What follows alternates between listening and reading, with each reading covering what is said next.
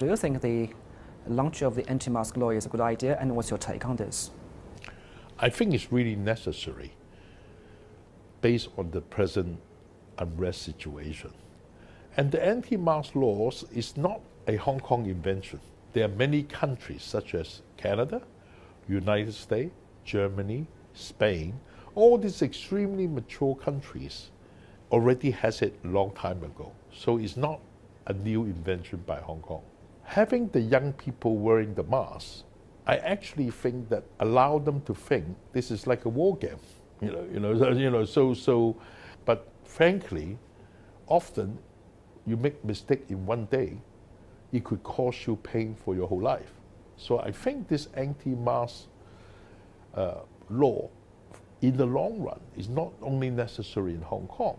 I think it also protect all these people in the long run. Hong Kong SAR government is trying to launch many measures trying to tackle the current issues. They're providing more land supplies, trying to ease the tensions. Do you think that will work? I think Hong Kong government can really seriously do better. Young people, 17 years, no food, nothing, their accumulated wealth is to buy a flat.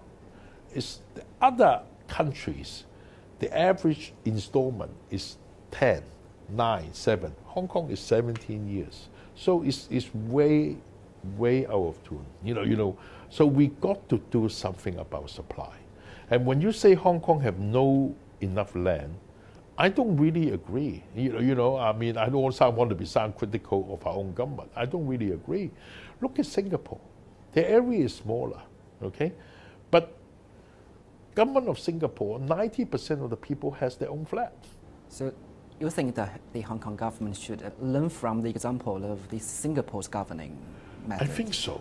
Because Hong Kong started with the, you know, many, many, you know, 200 years of British or 150 of British administration.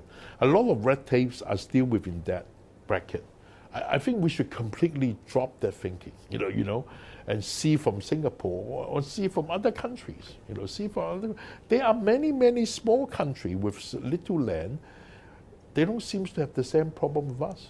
And secondly, because of the British previous administration, you know, these people talk about you know, environmentals, you know, you know, you know, green space. Hong Kong have actually one of the highest ratio of country park in the world. With such a small island, we can't afford it.